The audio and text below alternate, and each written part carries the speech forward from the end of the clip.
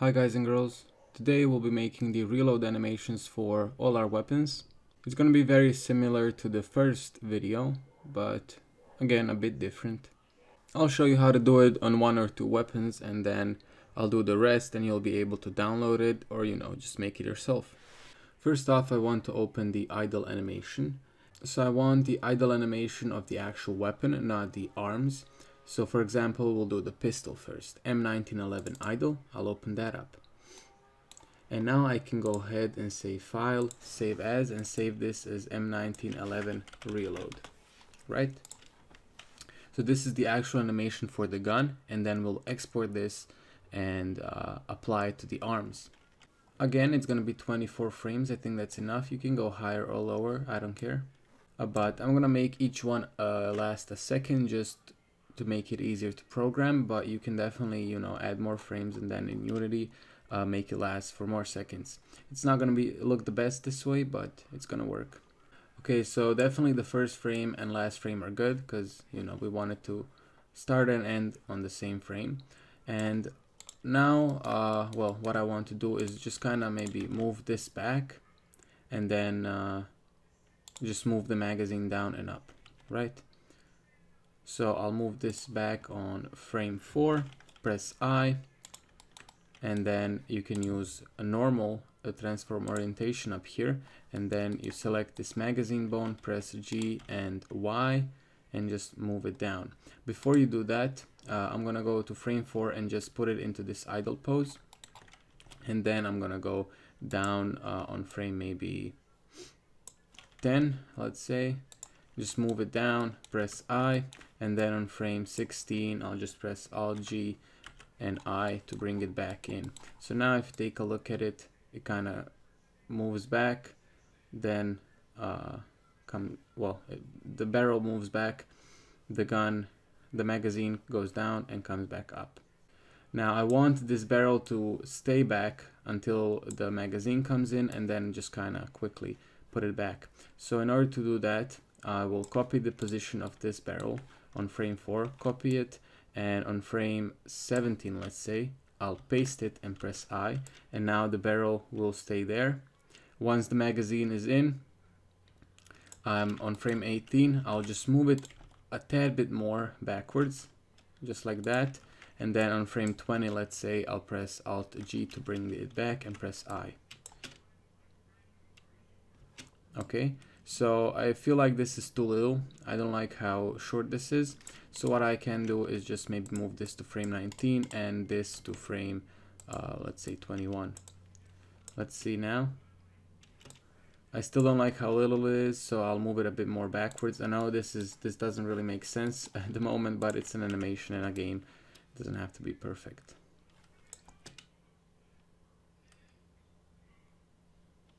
Okay, I like this one. I'll also rename it here to reload and I'll make sure I press Ctrl S to save and now I can export this. So just select the armature in uh, object mode and go file export FBX. I'll go to M1911 and export this as the M1911 reload. Selected objects, only armature, FBX unit scale, export. Once you have the actual reload animation of the weapon, you want to apply to the hands. The way I'm going to do that, again, I'll open two Blender windows. So in the one, for example, I'll open the M1911 uh, reload animation here. And on the second window, I'll open the FPS arms uh, animation. So I have the low poly arms um, M1911 and I'll find the M1911 idle. So you want the idle animation of this. And in order to do it, you can't be using this gun because this gun currently only has the idle animation and that will not actually apply the reload animation. So you have to take this gun, let's say from here, from this uh, reload file, copy it and then go into here and paste it. Okay, and now you have two guns. This gun I will rotate around the z-axis for 90 by pressing RZ90 and I'll have to move it to the exact position of this. And that's probably the hardest part but it will it will do good.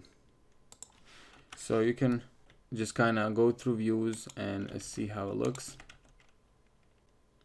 And try and match it so it's uh, a bit similar. Doesn't have to be exactly the same. It's a bit hard to see but uh, I believe in you. Once it's pretty close you can go to the human FPS and in there you'll have a parent in M1911 just select the parent and select everything under it press delete and it will delete it and now you want to parent this gun to the armature by selecting the gun armature then the player armature then selecting the um, the palm bone, control P and bone. And now this gun will follow the hand, as you can see. And now it will also play the reload animation. So now you just gotta match the hands to the weapon. Okay. Uh, again, before we continue, I'll just save this as M1911 uh, reload, but for the low poly arms, and save as. Okay. Uh, I'll delete the middle frame for the idle animation. Now it just does nothing. I'll also rename it here to M1911 reload. And now we just got to match with this. So uh, on frame 4, we want to start tracking this hand to the, uh, to the magazine. Now what you can do is say that this bone is child of something else and instead of being the child of IK arm target uh, you can go ahead and select the M1911 001 and then uh, find the actual magazine and it will parent to it but a much easier way to do it would be to just track it by yourself. So on let's say frame 12 or which one was the lowest? 12 yeah. I'll just move the hand down to the grip or sorry to the magazine and I'll match it with the uh, with the magazine so it's kind of holding it. Again just rotate and everything uh, should be fine so he's kind of holding it, then you can select the whole thing here and press I on frame 12. And at one point it should start following the magazine as you can see. Now at some points it's gonna of course not match with it, so you'll just have to uh, manually move it to a similar place. Of course this part is not that important, but once, because it's not on screen, but once you get uh, some things onto the screen, it's gonna be quite important that they match as you can see it just kind of starts too soon. It starts immediately and so I'll copy this actual pose of everything move it to frame uh, 4 and then just paste and press I. And now it won't move until frame 4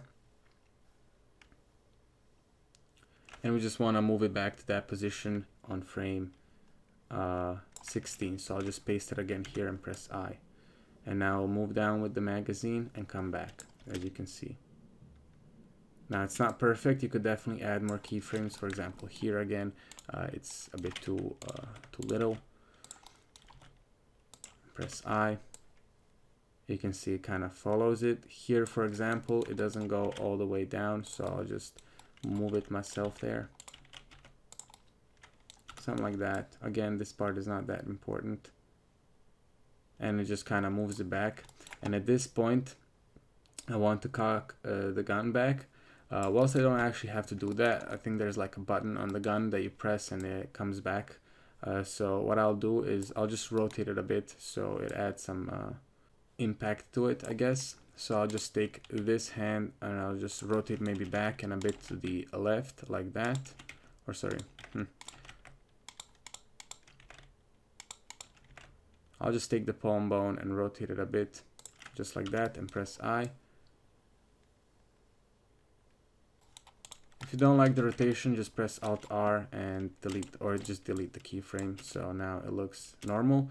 So when it pulls back completely, I'll just actually uh, rotate it backwards just like that. Press I and here I'll just make it so it's normal. So copy from the 4 frame, paste onto 16 and press I.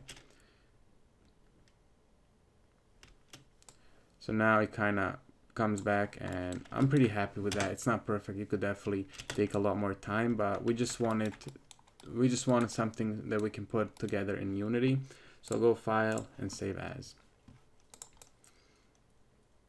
And this will be low poly arms M1911 reload.